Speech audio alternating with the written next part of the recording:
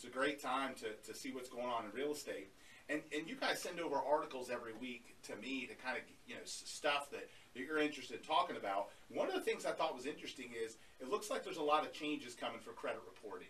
A lot, a lot of people don't realize how important your credit score is to getting a mortgage. They say, "Oh, I got enough money," you know, this, that, and the other. And and and I think the changes coming to credit reporting um, are important because consumers don't really have a lot of education about that how how your score is calculated. It's kind of this it's kind of this algorithm. It's impossible to understand, right? It's like, oh well, I paid down that credit card. Shouldn't you know? Shouldn't my score go higher? And it's not always the case. It's really complicated, and that's why speaking to a good lender like you guys is really important for somebody to help them understand, you know, how their score is calculated, and then of course what to do with some of these changes to help improve their credit score. So I want to give you guys a couple minutes to talk about some changes that are coming coming down related to that.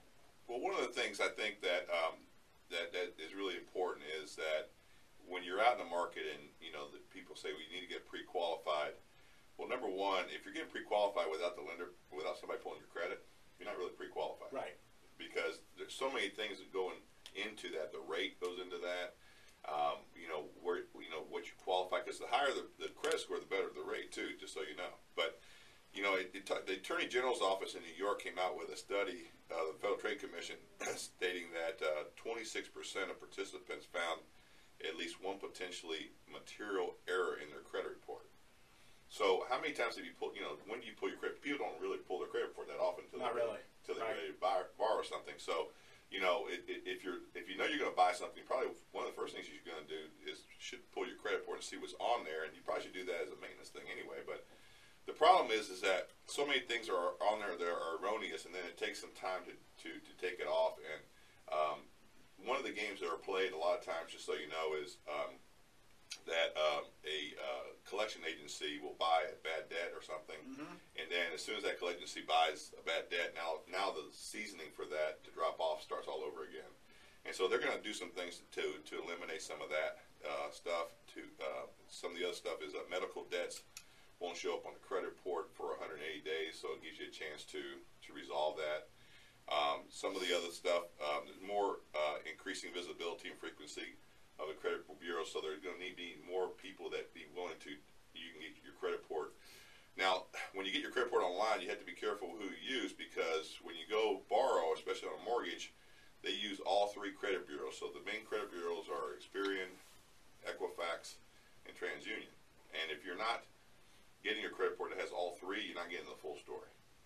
Because because lenders will use the middle score of the lowest borrower of the of the lowest credit score of the borrowers on the on the on the loan application. So it's important that you really uh, get in there and look at your credit report and kind of analyze it and see what you can do to fix it before you can before you go forward. Well, and also, like you said, you know, there's a dispute process. If there's something that's wrong, if there's, you know, and, and I think that the thing that people forget about too is that, you know, by talking to a good lender, you can kind of get guidance about what you need to position, you know, how much more income you need to make your debt to income better, or how much better your score needs to be based on your income to be able to qualify. There's a lot of that that goes into play that people don't comprehend.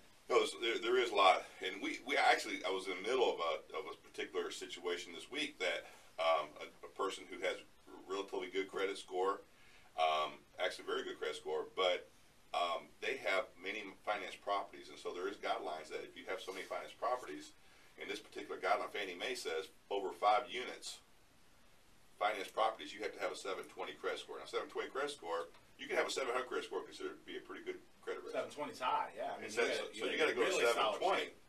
So unfortunately, the loan was already in process, but we had to sit there and we had to counsel them. And, and actually, we have a simulator with our credit bureau agency where we actually plug the, the situation in and, and say, well, if we did this, what would happen to the credit score? Give us an idea what might happen to the credit score. So we were able to give the, the customer a couple options. And one of the easiest things really is when your uh, credit limit is such, let's say your credit limit is 10,000 and you owe more than 50%, your credit score is going to go down. So we gave her a couple options to lower the credit score below, or lower the, the, the limit, credit limit below 50%. Option, but it takes a little longer, is to reapply and increase your credit limit. So, so now if you owe 7,000, but you increase your credit limit to 15,000, now you're below that 50%, now your credit score goes up. So things like that. So I wanted I want to kind of relate this to David a little bit because David is our resident Right. millennial expert. Yeah. David is our resident millennial expert. You're, you're, there's going to be designations. There's going to be all kinds of stuff around. Right. in reality, all the major real estate experts are talking about how important millennials are for our real estate market. And if you're listening to this show and you're like, "What do I care about a bunch of twenty somethings?"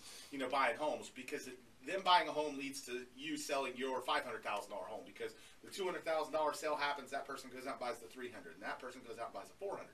So getting that initial piece, which are millennials, is really important. Do you think millennials do a really good job of paying attention to their credit score?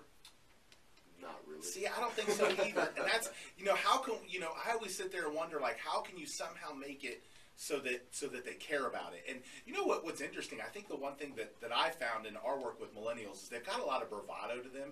You know what I think would be really cool? So almost like this, um, you know, like way that you can track your credit score compared to other people.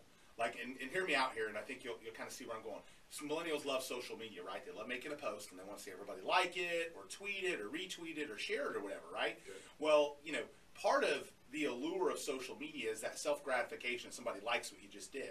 Well, I think you can somehow do the same thing with credit score without telling the whole world what your score is, right? But like compare yourself. Oh, I'm beat. You know, you know, all the millennials average credit score is this. You know what I mean? And then how you compare, and then what you can do to improve it. It's almost like you got to have this education to make it kind of a social, socially gratifying thing. The credit score to, to be important.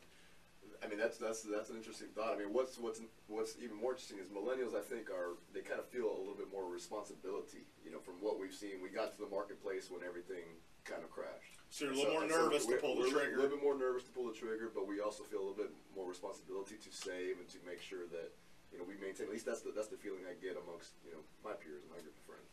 Yeah, it's interesting, but but I but I always found the same thing that they seem to be really n- not not really paying much. Oh, I make great money. Well, have you you know? But you have no idea what's going on with your credit. But but no I, but. I forgot to make the payment. last Right, month. exactly. Just because I forgot. You yeah, know? not because you didn't have it, because exactly. it just Yeah. you didn't seem And important. what's the It's big al- deal? And what- It's almost like yeah, what's the big deal? So what? I paid I, I paid the late fee. I caught it up. You know. Yeah. But there's got to be some sort of education, almost like socially. Ex, you know, way of uh, uh, getting them to, to kind of buy in and get excited about having a high school and what it means to them. You know, Yeah, absolutely. because I think that would be really cool.